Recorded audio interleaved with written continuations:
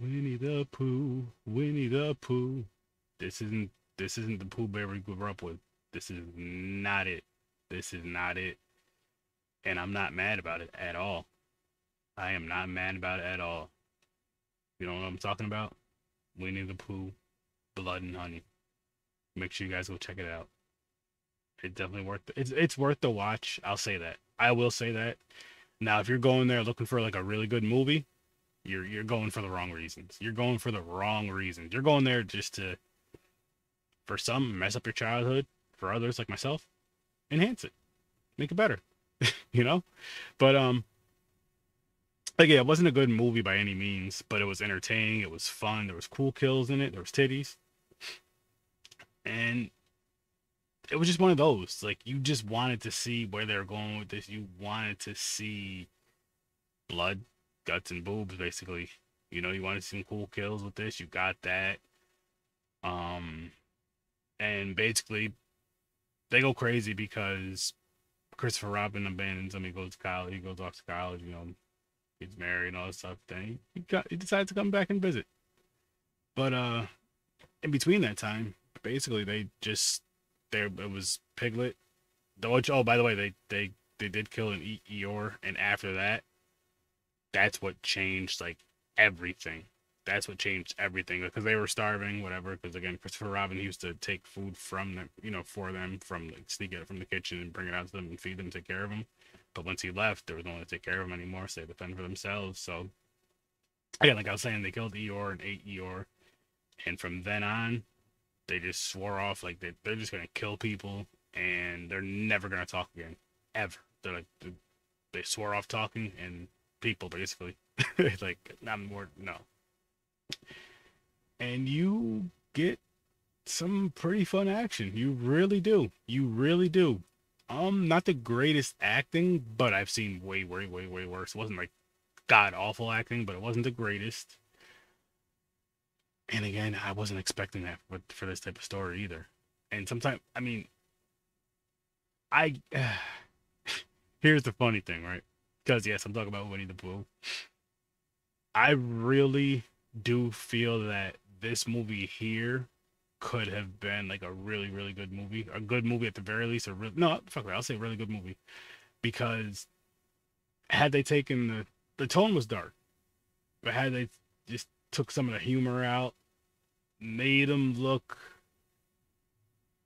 uh because he looks fun and funny but it still made him look a little more sinister a little creepier scarier more of a serious and yes i know what you guys are thinking you're talking about winnie the pooh but more of a serious tone in the sense of how the story was like not not making it a horror comedy and i'm not complaining but i'm just saying i can see it being a good movie in those in that type of kind of like you know but I had fun with it. I think the wife had fun with it too. She she said it was better than expected, so I'm assuming she had fun with it. And like I said, I I after we left, I said I'd watch it again. I definitely would watch it again. Um, and there's gonna be a sequel. So, st- spoiler alert for the end of the credits. It's there's gonna they, it just says um Winnie will return or Winnie the Pooh will return, and that was it. There was no action. There was no, you know what I mean. So, for those of you if you're going to see it, you don't have to stay for the credits. I just told you what happened. There's gonna be another one, and I forgot. There, I heard people talking about it. They didn't get the rights to Tigger, so he's not gonna be in it. I don't know if that can change down the road, but um, was it Rupert or something like that? Could be wrong. Correct me if I'm wrong in the comments, please. But that's what's supposed to be coming up you know, with him in that or her in that, Rupert, whatever. And uh, I'm here for it. I'm here for it. Um, I want to see more of these films. I, I believe they're also supposed to be doing a Bambi film. I hope Tinkerbell. I hope all that, like all that stuff. Just do it, please. Just do it, and release them in theaters. But I would love for a bigger release. I know it's easier said than done and I know it's gonna happen one of these. I know it's gonna happen with the, one of these days with these indie films that are uh, coming up, coming out, and doing great. Terrifier two from last year was awesome. This was fun.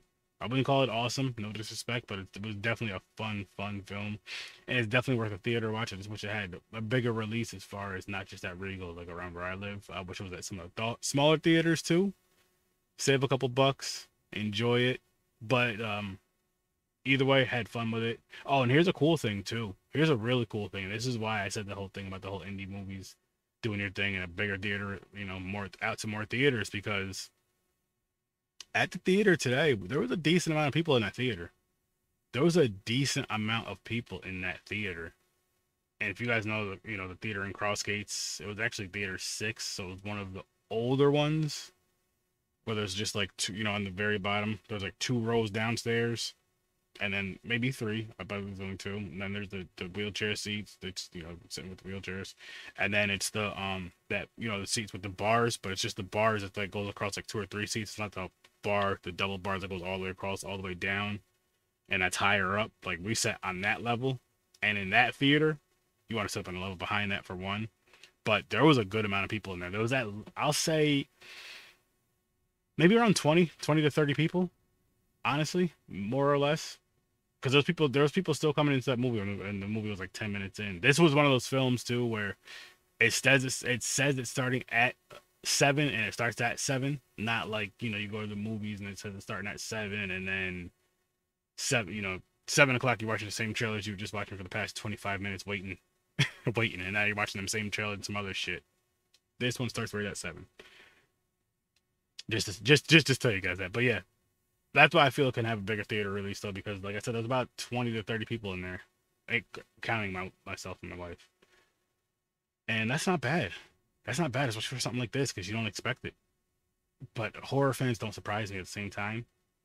So and then it's the horror fans, and then it's people who grew up with Winnie the Pooh, and you clat you mix those together, and we're just like, yeah, fuck, yeah, I, I, I gotta see that shit. So I'll say this: I recommend it as I recommend this movie. I really do. I'm gonna give it.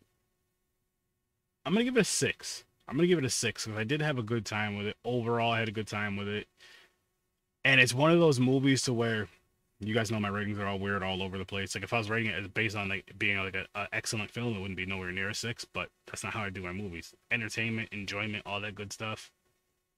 And just the feeling I get from that, it gives me a six. It gives me a six. And if I watch it again later on down the road, which I know I will, maybe my mind will change for higher, maybe lower. Who knows? And maybe if this a sequel, when the sequel comes out, will help one way or the other.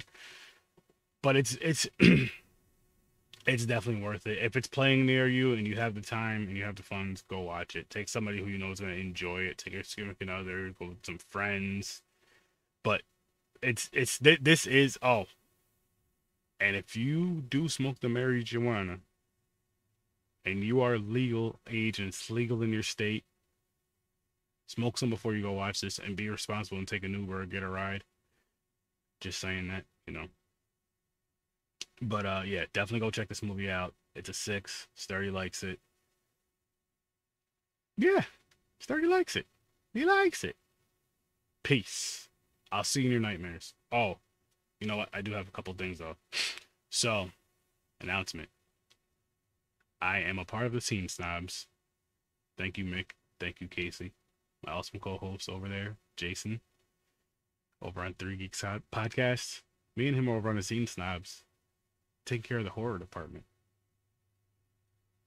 And we are the Scary Snobs. So make sure you guys go check out the Scary Snobs. Our first episode dropped last this past Thursday at 11 o'clock at night. It's pre-recorded. I know that's late, but just because a lot of us have shows and stuff, so whenever it comes out and whenever you get a chance to watch it, just please go over there to the Scene Snobs and check it out. Check out the Scene Snobs in general. Go check out the Three Geeks podcast. Um, check out the Z Network, of course, guys. Check out Popcorn and Pints. Check out Horror Research 30. Appreciate all the likes, the shares, subscribes. Please keep that coming. The rates. Drop drop down in the comments. Let me know what you thought about this movie. Let me know what you thought about this movie, guys, because uh, I'm very interested in this. I'm very intrigued to hear your guys' comments on this movie and many others. But you guys have an amazing, amazing day, night, weekend, I just hope it's all amazing for every single person that watches this video and share it with someone else, please. But I'll see you in your nightmares.